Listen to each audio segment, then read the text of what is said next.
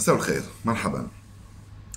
حبيت في عجالة وفي هذا الفيديو القصير أن أعلق على عن ما يتداول طيلة هذا اليوم في مختلف وسائل في بعض وسائل الإعلام وبعض وسائل التواصل الاجتماعي بشأن تنقل المنتخب المغربي أقل من 17 سنة للمشاركة في بطولة كأس أمم إفريقيا أقل من 17 سنة المقررة في الجزائر. ابتداء من هذا السبت قرأت وسمعت بأن هناك آه، موافقة جزائرية على السماح للمنتخب المغربي بدخول الجزائر عبر رحلة مباشرة من الرباط إلى الجزائر. أولا لم يكن هناك أبدا رفض جزائري على دخول المنتخب المغربي أو غيره في رحلة مباشرة من الجزائر إلى من المغرب إلى الجزائر. أبدا لم يكن هناك رفض. الرفض الوحيد هو لعبور الطيران المغربي. الأجواء الجزائرية بسبب قرار سيادي اتخذته الجزائر بغلق الحدود من زمان وقطع العلاقات الدبلوماسية ثم غلق الفضاء الجوي. وهذا قرار سيادي من حق الجزائر كما هو من حق المغرب وكما هو أيضا من حق أي بلد آخر مهما كانت الأسباب. قرأت وسمعت بأنه في موافقة جزائرية على دخول المنتخب المغربي. الموافقة الجزائرية موجودة من زمان عمرها ما رفضت الجزائر دخول وفد مغربي مباشرة من الرباط إلى الجزائر ولكن رافضة دخول أي وفد عن طريق الطيران المغربي.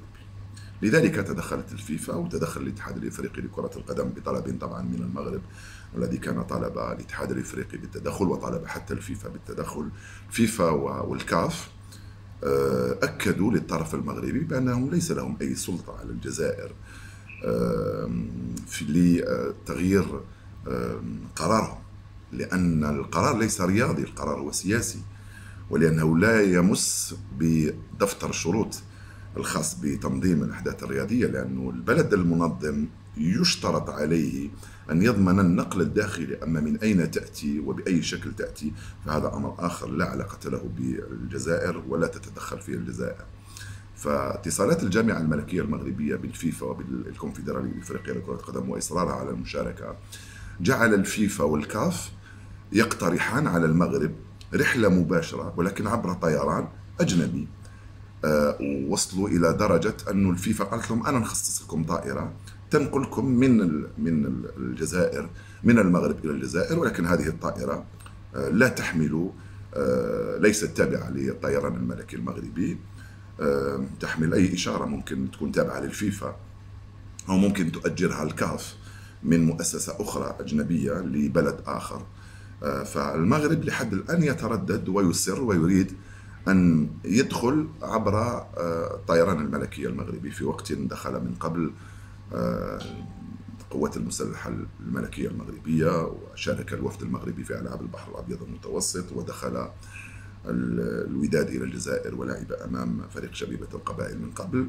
عن طريق رحلة غير مباشرة عبر تونس إلى الجزائر. فهذا الكلام الذي يشار الذي يثار في مختلف وسائل التواصل الاجتماعي ليس صحيحا تماما. الجزائر اتخذت قرارها من زمان وليس هناك أي تواصل معها الآن لأن رسالتها واضحة ولم يتم التراجع عنها وفهمت الفيفا والكاب بأن الجزائر لا يمكنها أن تتراجع عن موقفها الذي يبقى ثابتا ولكنها ذهبت إلى حد اقتراح طائرة جزائرية لنقل الوفد المغربي. يعني تروح طائرة جزائرية من الجزائر تنقل المنتخب وتأتي به إلى الجزائر ثم تعيده إلى المغرب عبر رحلة مباشرة عادي جدا لأنه طيران جزائري الجانب المغربي طبعا رفض هذا وهذا من حقه آه، طبعا آه، أن يرفض ذلك لأنه يصر على الدخول إلى الجزائر عبر الخطوط الملكية المغربية. طبعا هذا هو الصح لحد الآن ومرة أخرى مرحبا بالمنتخب المغربي في الجزائر.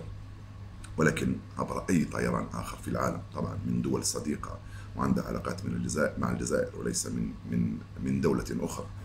آه، تعرفونها كلكم.